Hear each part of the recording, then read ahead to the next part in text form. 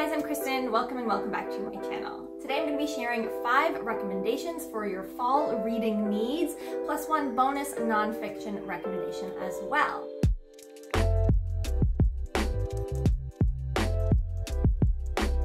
I've tried to include a little bit of variety with my recommendations so that there's something for everyone depending on whether or not you're in the mood for more spooky, gory, dark stuff, uh, dark academia, or even just something that is like very environmental and atmospheric. So hopefully I have something for everyone today. I'm also going to be including the first sentence from each book to help pique your interest. So the first book that I will start off with is Wolfskin by Juliette Marillier. This is one of Juliette Marillier's lesser known works, but it is very good still. And it has all of that atmospheric, very environmental, historical folklore elements that Juliette Marillier fans love and I think would be great also for fans of like Uprooted, Spinning Silver, and Katherine Arden, like the Winter Night trilogy. The, the book follows the main character Eyvind who wants to grow up to be a wolfskin, which is sort of like a, a Viking warrior and he develops an unlikely friendship with a the son of a the younger son of a chieftain named Somerled. Somerled is sort of like the brains to Eyvind's brawn, and this unlikely friendship eventually leads them to travel across the ocean to the Orkney Islands with Somerled's older brother. So that's the initial setup for the book, but really what this book is, is just very environmental. It's a little bit more dark and ominous than a lot of Juliette Marillier's other works, especially if you've read some her like the Seven Waters series, Daughter of the Forest. This has a little bit of the Brotherhood vibes, a little bit of a romance. There's a little bit of a questionable circumstances around a death and a whole lot of folklore atmospheric vibes. This book is available to read on the app Scribd if you have that, but I would definitely check out the content warnings on this one. There is mention of rape scenes. They are not depicted, but there is a, a couple uh, references. So the first sentence in this book is a very short one, doesn't give a whole lot away, but it is Winter Bites Hard in Rogaland. Second recommendation is Witch's Heart by Genevieve Gornichek. This is also still in sort of the atmospheric folklore fairy tale vibes, if that is what you're looking for for a fall read. Still also in the Norse track, this book follows Angrboda, who is the first wife of the god Loki. And it follows the lead up to uh, Ragnarok, which was sort of the apocalypse between the Norse gods.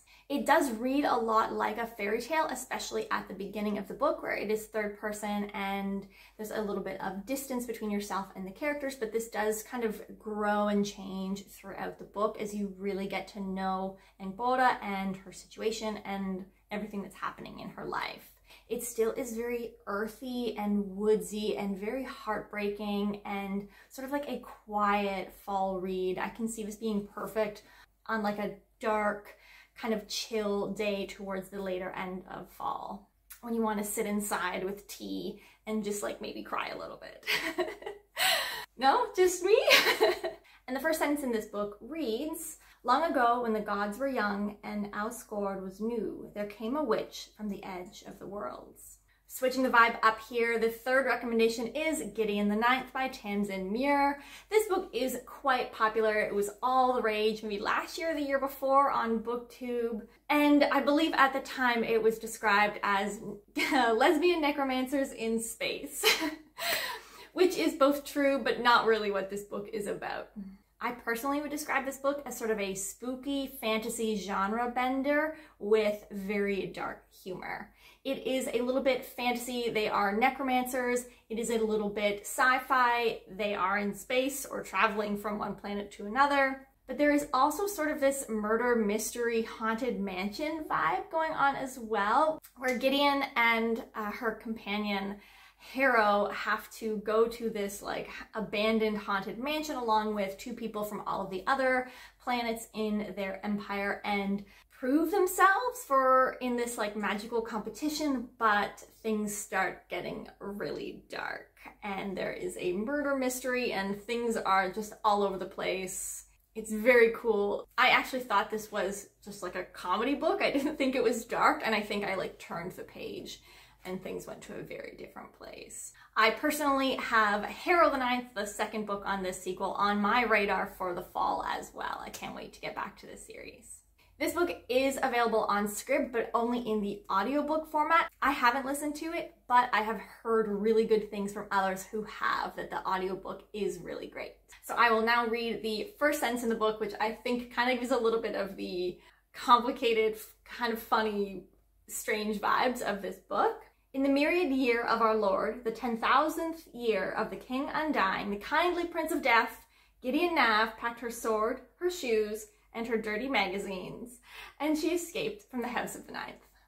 Okay, next we are going into the dark academia vibes with A Deadly Education by Naomi Novik. This book has had a lot of controversy on it. I am also filming a video on whether or not you should or shouldn't read A Deadly Education. So if this piques your interest, maybe also check out that video as well when I release it to get a better sense, uh, a more in-depth sense of what this book is like. But this book is set in a magical school where the school has, like things within the school have kind of gone wrong and it is a little bit sentient and actively trying to kill the students. And you are learning everything about the world and the school and the students through El's eyes in a series of anecdotes uh, that do come a little bit across as sort of um, info dumping or like exposition, but it's just like her style of storytelling is El telling you, the reader, these little anecdotes about the world and the school, and that's how you're learning the setting. It does have a slower plot, and it is very like high school teen angst not fitting in vibes, while at the same time in this like very dark, kids are dying all around them, evil school with monsters kind of a setting. El is destined to become this evil, very, very powerful sorceress, but she doesn't want to be evil and is actively trying to avoid that. And Orion is sort of like the golden hero boy of the school, and they kind of begrudgingly develop a friendship. The first sentence in this book I think is hilarious and definitely caught my eye when I read it. It goes, I decided that Orion needed to die after the second time he saved my life.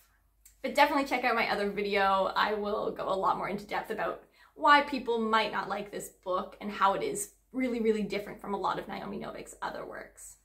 But I think it is like a really fun, kind of humorous and angsty version of that dark academia where it's not quite as serious as what you would maybe think of as dark academia, but definitely fits into that world. The fifth but not final book recommendation here, we're going into classic sci-fi and as well sort of like horror mystery a little bit. And that is the book The Island of Dr. Moreau by H.G. Wells. I would definitely categorize this book as classic sci-fi meets horror.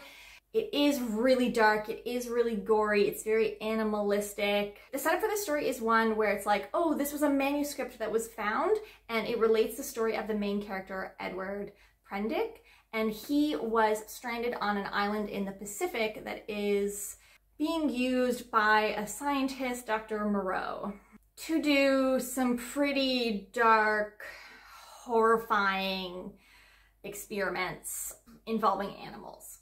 I would definitely check out the content warnings for this one, especially relating to animals. It is a little bit gory and some of the scenes are a little quite uncomfortable and it is very confronting in its exploration of the themes that it's exploring here. When it was originally published in its time, it was exploring ideas about creation and divinity, but you can almost more read it currently as an exploration of medical ethics, morality, and genetic engineering. The first sentence in this one doesn't give it a lot of away because it's setting up the, the fact that the manuscript was found, but I will read it anyway. On February the 1st, 1887, the Lady Vane was lost by collision with a derelict when about the latitude 1 degree south and longitude 107 degrees west. so riveting. And then finally, I have one bonus recommendation here, and that is a nonfiction book. If you have watched my videos before, you might have noticed I do not really read nonfiction books, with the sole exception of this book. It's called The Upside of Stress by Kelly McGonigal.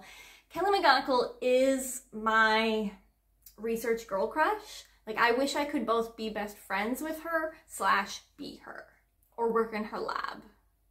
That would be so amazing. She is also the speaker that did my all-time favorite TED Talk ever. I will link it down below that confronts our idea and perception about the fact that stress is bad.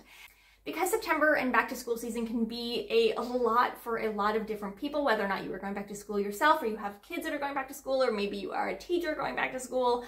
So if stress is something that you are hyper aware of this going into this fall, maybe check out this book. It breaks down not just the science of stress, but how we have more control over how we respond to stress than we think that we do. But this book goes into sort of our current understanding of stress and stress research, but also how stress research is not as cut and dry as we are perceiving through media and how in fact our mindset and your body's mindset can actually change the physiological cascade of hormones that happens in your body in stressful situations. I will read a slightly longer quote from this one to give you a little bit of a sense of what this book is like. If you had to sum up how you feel about stress, which statement would be more accurate? A, stress is harmful and should be avoided, reduced, and managed. Or B, stress is helpful and should be accepted, utilized, and embraced. Five years ago, I would have chosen A without a moment's hesitation. This book is awesome. I love the research on mindset. I love the research on stress. I want to embrace more of this in my own life and I think this book is amazing. Do you have any go-to fall recommendations? If so, let me know down below. I'd love to hear them. Also, if you've read any of these books, I'd love to hear what you thought. That is it for me today. Have a great day, everyone. See you next time. Bye.